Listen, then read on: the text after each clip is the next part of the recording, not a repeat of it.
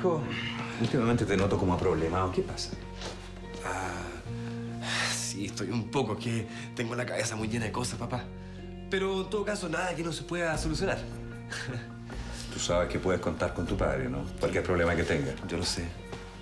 Parece que tú no querías tanto a tu padre y a mí. ¿Cómo puedes decir eso, mamá? ¿Cómo puedes decir que no la quiero si soy la única de mis hermanos que no la dejó botada? Todos se fueron, mamá. Yo traté, mamá. ¿Cómo puedes decir que no la quiero si me estoy volviendo loca con la venganza? Y por eso fíjate que me extraña tanto verte tan debilitada. Porque me cansé, mamá. Me cansé. ¿Qué te crees que eres? ¿Quién te crees que eres, mojoso de mierda? ¿No te das cuenta que nos pueden meter a la cárcel a los dos por esta estupidez? Te prohíbo que vuelvas a ver a Beatriz León Thompson. Esto se terminó aquí. ¡No! Esto no se terminó aquí. Yo amo a esa mujer. Y me voy a casar con ella. Aunque tú y todo el mundo me lo impida, ¿escuchaste?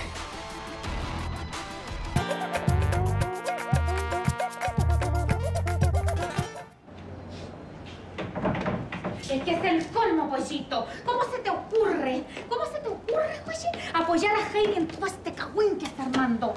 Mamita, es que yo le prometí a la Heidi y tú me enseñaste que una promesa es una promesa. Escuche todo Cerro Alegre. O sea que si Pollito se compromete a que se va a tirar por el abismo, ¿lo va a hacer? No, pues. No. Ay, ya, ya. Lo que pasa es que esto también es responsabilidad mía, pues porque yo no le he contado a la niña toda la verdad sobre Nanito Ferrer. Mira, Chabelita, en el trayecto entre la casa y el colegio tú le vas a contar a Rosetita toda la verdad sobre Adriano Ferrer. Tranquila, Gordy, tranquila. Imagínate, yo le cuento a la Rosetita, después la Rosetita se le cae el cassette, le cuenta a la Heidi, la Heidi destapa la olla, ¿cómo queda la escoba? ¿Ah? Cálmate. Tú despreocúpate. De Heidi Astudillo me encargo yo. ¿Estamos? ¿Pero qué te pasa, hombre? ¿Te volviste loco? No, no me volví loco. ¿ah? Estoy más cuerdo que nunca. Estoy decidido a casarme con ella. Casarme con ella, no hables estupideces, hombre. Anda a agarrar tus cosas de esa casa y no vuelvas nunca más. ¿Sí? Sí. ¿Y si no lo hago? ¿Qué voy a hacer para impedírmelo? ¿Ah? Si no lo haces, voy a ir yo personalmente y le voy a contar toda la historia a Raquel Thompson. Lo que es justo lo que ella está esperando, po. ¿ah? El, el argumento para meterte preso, po. ¿ah? Es lo que siempre he querido, meterte preso. Ridículo, ¿qué argumento para meterme preso? Raquel Thompson no sabe nada, no puede probar nada. ¿Ah, no? No. ¿Tú sabes cuál es la pena por, por suplantar identidad? ¿Ah? ¿Por firmar papeles? ¿Ah? ¿De qué estás hablando, firmar Es papeles? grave. Es grave. Tú no firmaste absolutamente nada. Te dije expresamente que... Te dije expresamente que no dejaras nada por escrito. Espero que me hayas obedecido. ¿Y qué sabes tú? ¿Ah? ¿Qué sabes tú lo que hice yo? ¿Estaba ahí? No estaba ahí, po. imagínate, imagínate los, los, los diarios. Adriano Ferrer preso en Chile por fraude. ¿Te cachai el escándalo? ¿Te cachai el escándalo, no? No te entiendo, Mauricio. No entiendo qué diablos estás haciendo. ¿Qué te pasa? Soy yo, Adriano Ferrer, la persona que, que, confió en ti, que te dio un trabajo, que te ofreció algo. Te he ofrecido todos mis contactos para que hagas carrera en Los Ángeles, para que hagas películas. La oferta existe, te lo estoy ofreciendo. ¿Qué pasa contigo? Adriano, mira. Escúchame. Yo no me quiero ir a Los Ángeles. Yo no quiero hacer, no quiero hacer películas, no quiero, no quiero trabajar allá. Yo, yo me quiero casar con la mujer que amo. Eso es todo. Mira, una vez la traicioné. Porque tú me lo pediste. La traicioné, pero, pero ya no más. Yo me voy a casar con ella. A- aunque a nadie le guste, yo me voy a casar con ella. Mauricio, Mauricio, escúchame, ¿de qué mierda me estás hablando? ¿Cómo te vas a casar con ella, hombre? Todo eso es una mentira, es un invento. Gracias a mí conociste a esa niña, gracias a mí entraste a esa casa, hombre. Y tú no me vas a poder sacar de ahí.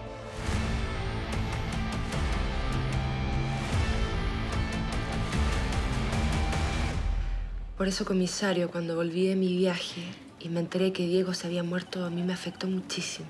Él era una persona espectacular. O sea que usted cree que él estaba enamorado de usted. No, no enamorado, no creo, porque apenas nos conocíamos. Pero sí creo que él sentía una atracción un poco enfermiza hacia mí.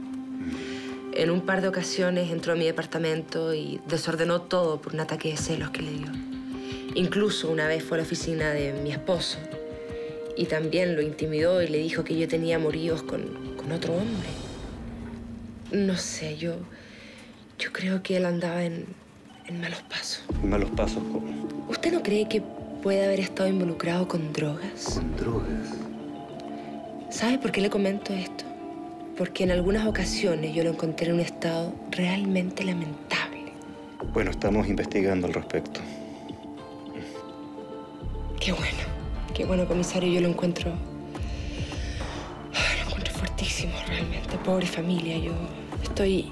Estoy impactada, Dios mío. No puedo creerlo, Diego. Yo la Beatriz la conozco desde mucho antes que todo esto empezara. Yo no tenía idea que ella era hija de la Raquel. No sabía. Eh, nosotros no, nos dimos el beso amor eterno. A las 12 del año nuevo, muy bonito, muy romántico, Mauricio. Es romántico, aunque a ti no te parezca. Mira, la primera vez que yo entré a esa casa y la vi, me deslumbré, ¿cachai? Me deslumbré y, y traté, traté, traté de sacármela a la cabeza y decir, no, no, no. Pero entre más estaba con ella, más me enamoraba. Debiste habérmelo dicho. ¿Para qué? ¿Para que me sacara y así el plan? Por supuesto, pues si lo hubiera sabido te habría separado inmediatamente de esa niñita. Ah, claro. Igual como hizo el viejo Leonidas contigo, separándote de Alexandra Thompson. ¿Qué estás diciendo? Sí, po. ¿Leonidas no fue el que te separó, Alexandra? No tiene nada que ver, mi historia de amor no tiene nada que ver con la tuya. Ah, no tiene nada que ver. Claro que tiene que ver, po. ¿Ah? La niña cuica de Vía del Mar que se enamora del actor porteño. Es lo mismo. No tiene nada que ver, hombre, muy distinto. Alexandra Thompson sabía perfectamente quién era yo, sabía que era un actor de Valparaíso. Beatriz no lo sabe.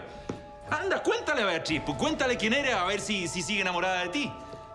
Beatriz se enamoró de mí. ¿Ah, sí? De Mauricio Méndez. Bueno, Sí, demuéstramelo entonces, te desafío. Cuéntale a Beatriz Thompson quién eres realmente. Cuéntale quién eres, a ver si te quiere tanto, pues. Toma, sírvete un chupetito. Gracias, tía, por prestarme la motocita. Oiga, tu tía Zule sabe que yo estoy un poco confundida, no cacho por qué me vino a buscar a clase. ¿Qué quiere conmigo? Mira, sujétame esto. Este es un asunto bastante delicado. Vamos a partir por limpiar con un romerito el espacio para que podamos abrir nuestros corazones. Mira, Heidi, esto se trata de Nanito, o sea, Adriano Ferrer, Mauricio Méndez, los Thompson y de todas esas cosas que tienes anotadas en tu pizarrita. ¿Qué pizarra? Oiga, tía Zule sabe que yo no le estoy cachando nada lo que usted está hablando, más que a mí no me gusta cambiar clases. Oye, oye, ven para acá. No te hagas la de las chacras, porque yo no tengo ni un pelito de tonta, y tú tampoco. Heidi Astudillo, tienes tu aura cochina. Mira, yo te digo una sola cosa. Yo no voy a tener a un espía viviendo bajo mi mismo techo. ¿Estamos? Écheme entonces. po. ¿Qué tanta amenaza? Don Archidaldo me recibe feliz para que cache. Ay, mira cómo tirito, oye. ¿Cuándo te vas a convertir en una mujer madura? No una pendeja como eso. Mire, tía Zulema, hay que ser harto madura para soportar todas las cuestiones que me ha hecho el Mauricio, ¿ya? Venga para acá. Ya, mi chiquitita, si es verdad, es verdad que has tenido que soportar muchas cosas, muchas humillaciones, muchas penas. Pero esto tiene que terminar, ¿me entiendes? Las cosas tienen que tener un punto final ahora. Yo te vengo a proponer un trato. ¿Cuál?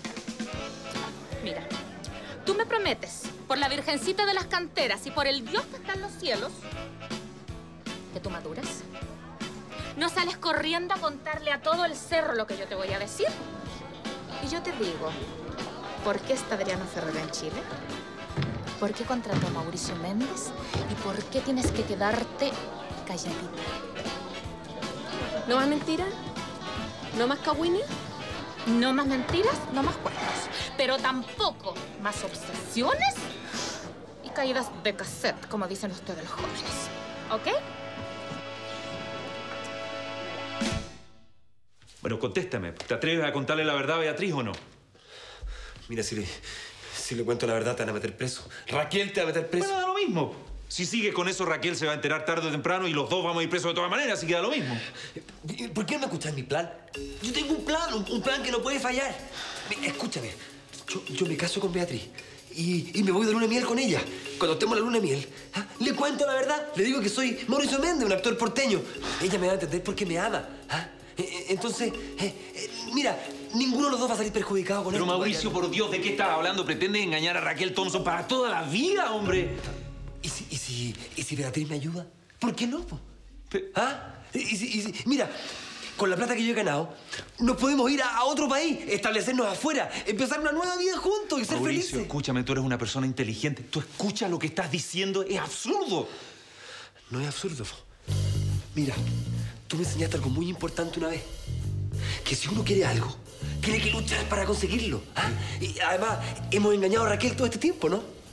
Mauricio, uno puede lograr lo que quiere, pero dentro de ciertos márgenes estás perdiendo el juicio de realidad, viejo. Estás fantaseando por los pies de la tierra. Lo que tú viviste es una historia, una fantasía, un cuento. Los cuentos se terminan. Termina con esto. No, no podría no. A mí nadie me va a separar de Beatriz. Mauricio, escúchame una cosa. Te estás volviendo loco, viejo. Tienes que reaccionar. Nadie me va a separar de Beatriz. Ni siquiera tú. Mauricio. Nadie me va a separar de ella. Ni siquiera tú, Adriano. Mauricio, piensa lo que estás haciendo, hombre. Este plan va a resultar. ¿Escuchaste? No Lo va a todo pensado. Va a resultar y vamos a ser felices. Ya vas a ver. Mauricio le está volviendo loco. Esto no nos puede resultar, hombre. ¡Mauricio! Así que la Adriana Ferrer anda buscando a su guacho. Oye, lávate la boca con sapolio antes de hablar así. Guacho, ¿qué es eso? Más respeto. Este es un asunto delicado, Heidi. Oiga, tía, pero usted me explica qué onda el matrimonio del Mauri con la Beatriz. O sea, ¿qué tiene que ver eso con el plan del hijo perdido? Bueno, nada, pues nada. Si por eso es que mi nanito está tan desesperado, pues Heidi, ¿me entiendes tú? Pues es que él está so sad, so sad, porque el Mauro lo traicionó. ¿Y qué se esperaba de ese? Si es un egoísta. Es un desgraciado, tía, un traidor. Él es un cabro enamorado. ¿Cómo? ¿Usted lo está defendiendo? No, no, no se trata de eso, pues Heidi, ¿cómo se te ocurre? Lo que pasa es que, mira, hagamos un ejercicio de imaginación. Beatriz León Thompson se entera de que Mauricio la ha traicionado, de que la he mentido durante todo este tiempo. ¿Tú crees que ella lo va a perdonar? ¿Tú crees que ella va a poder amarlo de nuevo? No, pues Heidi. ¿Quiere que yo haga por mientras? O sea, que pique repollo, que me lime las uñas, que raye la papa. ¿Qué quiere, tía? ¿Que siga sufriendo mientras que el Mauro se sale con la suya? No, no, mira, mira. Ahora tú te tienes que conectar con tu energía femenina, tu yin, ¿me entiendes? Y aprender a tener paciencia, esperar, tolerar, observar. ¿Sabes lo que me dan ganas? De contarle todo bien contado a esa Beatriz. De que se me caiga el cassette bien caído para que se acabe toda esta cuestión de una.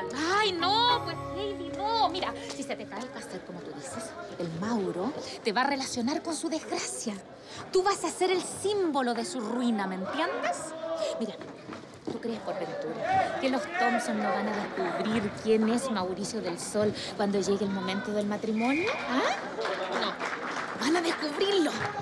Entonces en ese momento el Mauro va a volver al Cerro Alegre, destrozado, arrepentido por su tremenda equivocación. ¿Y quién lo va a estar esperando con los brazos abiertos? ¡Yo! ¡Tú! ¡Heidi Estudillo! Porque has tenido paciencia y entonces lo vas a recoger y lo vas a volver a conquistar. Coque, y tú no has perdido mucho tiempo acá. No, Fernanda, para mí lo más importante ahora es estar contigo.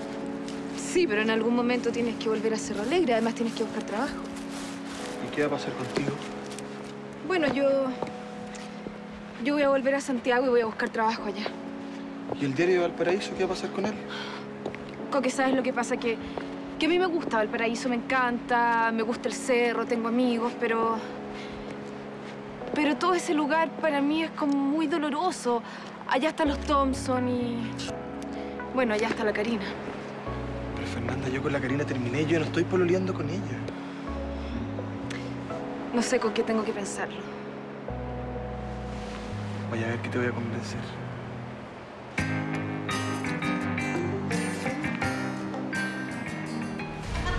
incluso, incluso terminó consolándome, Rafa. ¿Te das cuenta? Si son demasiado ingenuos, yo no puedo creerlo. ¿Sabes lo que pasa? Lo que pasa es que esto- estoy muy bien. ¿Sabes qué? Tengo un talento innato. Yo creo que lo heredé de mi padre, fíjate. Es más, le voy a pedir cuando vuelva a Estados Unidos que me meta en una de sus películas. ¿Te tinca? Mm, sí que algún día vuelve. Oye, ¿qué te pasa? ¿Te volviste imbécil o te hace? Obviamente que voy a volver. Es más, estuve hablando con Richie y me dio las instrucciones para entrar a la central de computación. Mira, la idea es hacer quebrar las empresas.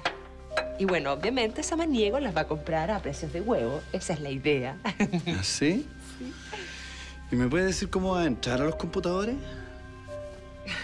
Muy fácil, soy la señora de Juan Pablo. Puedo entrar a las empresas cuantas veces yo quiera. Así, ¿ah? ¿Y tú crees que la Raquel no va a encontrar raro verte a ti trabajando en un computador, por ejemplo? Ay, pero Rafael, voy a ir, obviamente, cuando la Raquel no esté. Todo me está resultando tal cual lo había planeado. ¿Te das cuenta, Rafael? Estoy demasiado, demasiado feliz.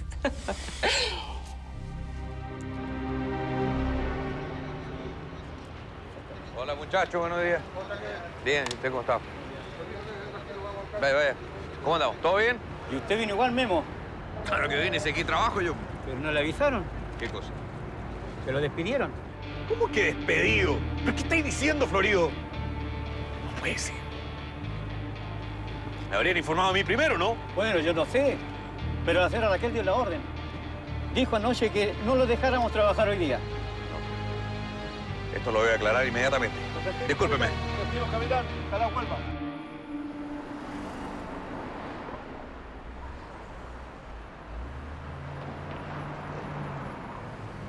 ¡Payaso! ¡Hamlet! ¡Hola, buen loco! ¿Qué onda? ¿Y esa carita que te viendo qué te pasó? Ah, película. Productor de la película, pues, con mi jefe. El cortometraje. Bueno, voy a hacer eso. Si las pegas están muy difíciles, tienes que asegurarte. Y eso no es nada. pues. Allá en el puerto donde trabaja mi viejo, la cosa está peor. Oye, para que soy el ánimo, ¿por qué no hay para la casa? Sé que estamos siguiendo una hora el zafiro. Anda para allá, pues anda bien, para que te, te, te caiga un rato. Sí, de repente me haría bien. Para subir el ánimo. Sí, pues, loco. ¿Ah? Compadre, sonríe. Ah, la vida es buena. Voy a comprar unas bebidas yo para los cabros. Vale. Te espero. No. Chao.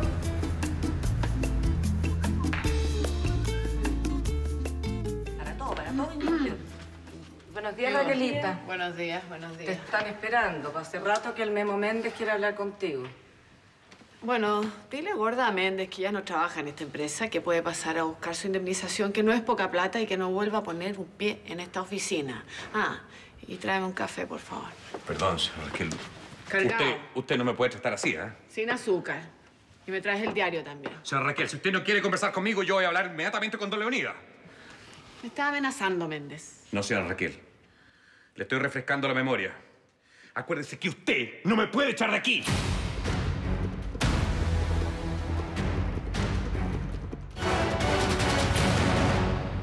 ¿Cómo? ¿Y, y vino para acá? Vino a darme el pésame. Él estaba de luna de miel cuando murió mi hermano. Chute, quedaste muy triste, ¿no? No, todo lo contrario, fíjate. No sé, me pasó algo bien raro. Cuando lo vi aquí haciéndome cariño, hablándome, mirándome. No sé, me aburrí. ¿Cómo? ¿Cómo te aburriste? Sí. O sea, bueno, no sé si aburrirse es la palabra, pero... No sé, me di cuenta que llevaba tanto tiempo pegada con Juan Pablo, obsesionada con eso, que... No sé, en realidad estaba obsesionada con una imagen, con lo que él me provocaba, con algo que no es real. De repente me sentí libre. ¿Pero ¿Cómo libre? Libre, libre de Juan Pablo, de todo el amor que le tenía, de todo el odio que le tenía a la Mariana. Libre.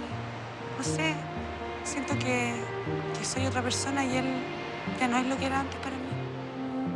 Ay, te más grande, ¿eh?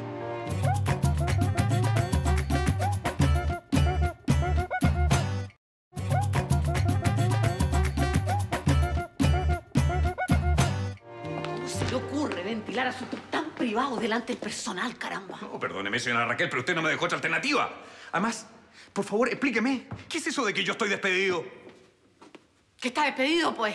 Y ya no sigue trabajando para nosotros. ¿Pero por qué? Ah, usted creyó. Usted creyó que iba a pasar inadvertido el hecho que mi hijo Jorge Andrés me haya dado la espalda, amparado en su casa, instigado por usted. Oiga, lo que usted me ha hecho es tan grave que todo trato que usted tuvo en el pasado con mi padre quedó sin efecto. No, pero discúlpeme, señora Raquel, usted me tiene que escuchar un par de cosas. Primero que nada, yo no tenía cómo saber que ese muchacho llamado Coque era su hijo Jorge Andrés, que llegó a mi casa pidiéndome alojamiento y comida. ¿Cómo podía saber que ese muchacho era su hijo? Y segundo, y perdóneme que se lo recuerde, señora Raquel.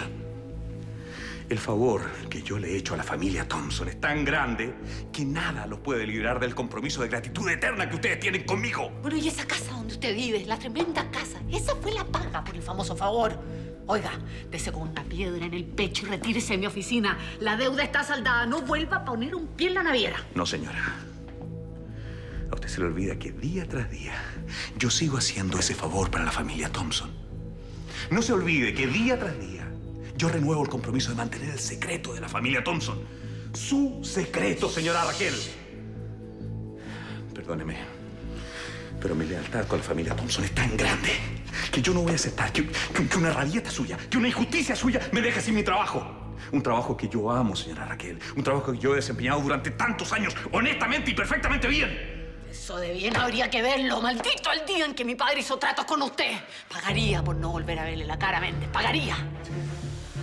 Pero parece que me, me va a tener que seguir viendo la cara nomás, pues, señora. Así son las cosas. ¿Y qué quiere que le diga? El trato que hicieron conmigo, nadie podría haberlo hecho mejor que yo. Nadie. Y usted lo sabe perfectamente bien, ¿no? Bueno, ¿y? ¿Qué me dice? Ya. Vuelva a su puesto. Y hágalo bien. Y aprovechelo. No crea que ganó Méndez. El día en que mi padre no esté más con nosotros, ese mismo día usted se va de la empresa. Usted, señora Raquel Thompson, debe ser la persona más ingrata que yo haya conocido en toda mi vida. Discúlpeme que se lo diga. Con permiso.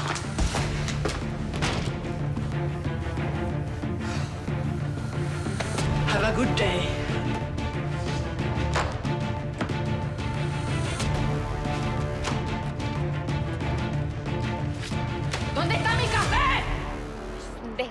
Ese. Yo no sé por qué no te permitió cerrarle la cuenta al Mauro cuando tú se la habías abierto. Porque no podía. Zulema. Él te lo explicó muy bien. Tú lo escuchaste. Absurdo, completamente absurdo. Oye, yo francamente, si tú eres el que le metiste además todo el dinerillo a... Sí, pero la cuenta estaba a nombre de Mauricio y el único que puede cerrarla. No había nada que hacer. Ay, oye, bien poquita cosa tu amigo, ¿ah? Como insustancial así. Porque además que se la podría haber jugado por ti. Por eso me carga toda esta cuestión del libre mercado, oye. Por Dios, ¿qué tiene que ver el libre mercado? Por favor, Zulema. Sí, todo esto, el sistema bancario, las cuentas, los ejecutivos, todo eso. Sobre el triple trapecio de Trípoli trabajaban trigonométricamente trastocados tres triunviros trogloditas. Entonces llegó Miranda mirando al mirón tontón. Tres tristes tigres trigo trigaban en un trigal. Tropezando con triclinio y otros trazos triturados por el lugar. Y Catalina cantarina, Catalina encantadora. Canta, Catalina, canta, que cuando cantas, me encantas. Entonces fue cuando Miranda miraba al mirón tontorón tontón. Tres tristes tigres. ¡No interrumpáis, Malú!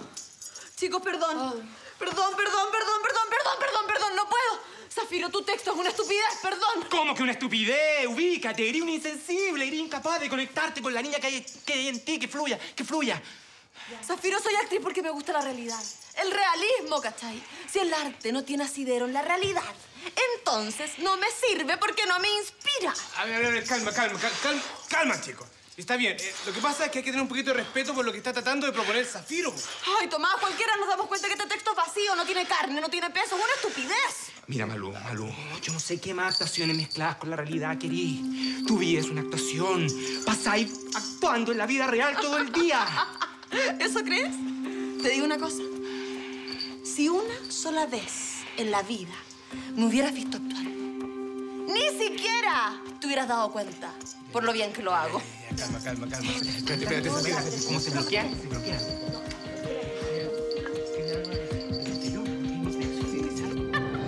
Ay, pero ¿cómo una chicoquita con unos ojos azules tan lindos como tú no me va a dar las llaves de Mauricio del Sol? Pero si él me pidió expresamente que le viniera a buscar todas sus cosas.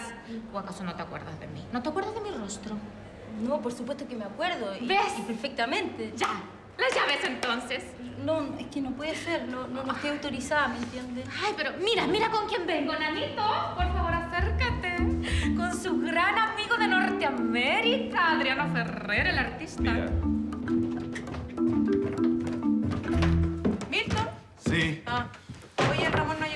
No lo sé, Karina. Él tiene mal organizados los horarios. Almuerza a la hora del té, toma desayuno a la hora del almuerzo, tiene pésimos hábitos. Oye, ¿y eso? ¿Esto? Sí. Es mi senador, don Clemente Echeverría. Yo fui un partidario activo en la campaña de él de diciembre. A Ramón no le va a gustar nada que estés tú pegado en el link, fíjate. Porque nosotros apoyamos al otro candidato. ¿Qué? Sí. Ay, santo Dios, al lugar donde me vine a vivir. Mira, Karina Estudillo, este señor que tú ves acá es un héroe. Él tiene las mejores ideas para Valparaíso.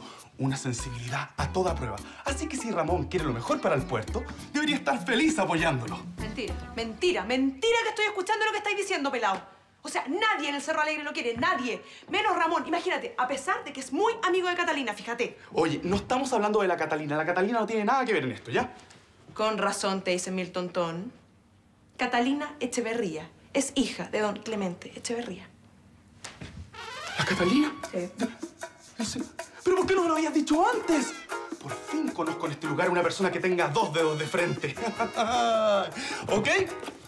Me llevo el cuadro para mi pieza para evitar conflictos con Ramón. Pero él no va a poder impedir que yo invite a don Clemente Echeverría a conocer este humilde hogar. ¡Valparaíso, tira para arriba! ¡Vota por el senador Echeverría! Yo entiendo tu posición, pero nosotros necesitamos entrar a la pieza. No, no vas a pensar que vamos a entrar a, a sacarle algo, ¿no? ¡Ay, qué bueno el chascarro! No, por supuesto que, que nunca lo he pensado. Lo que pasa es que don Mauricio ayer, justamente ayer, me dijo que sus visitas tenían que esperar ahí en el lobby. Y obviamente no pueden entrar sin que yo le avise, ¿me entiende? Son órdenes. Lo entiendo. Además, usted entenderá, ni siquiera él ha pagado su cuenta. Mira, entonces- si de la cuenta me voy a encargar yo. Lo que pasa es que él vuelve hoy día a Boston, vuelve a Estados Unidos y, y necesita retirar sus cosas. Todas. Yo lamentablemente no estoy autorizada para dejarlos entrar. No van a poder hacer.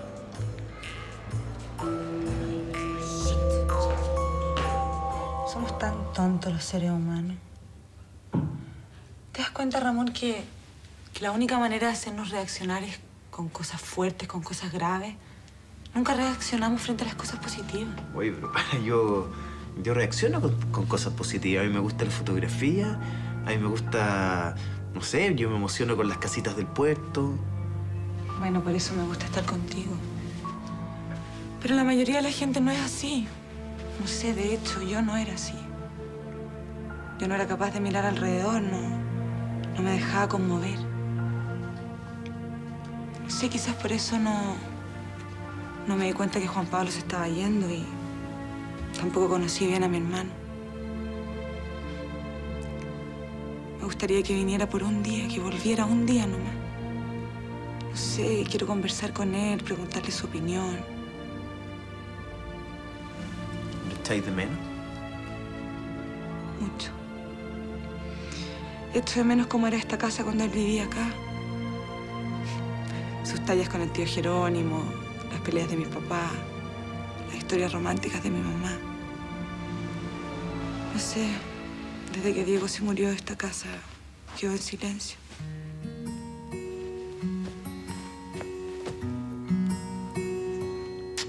Eres fuerte, Cata. No, soy llorona. No, eres fuerte, eres linda, eres una mujer.